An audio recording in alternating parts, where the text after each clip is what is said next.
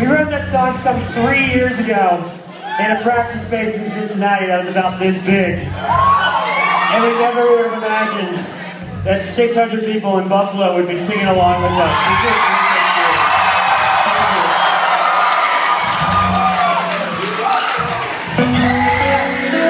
Maybe sing along with this one too.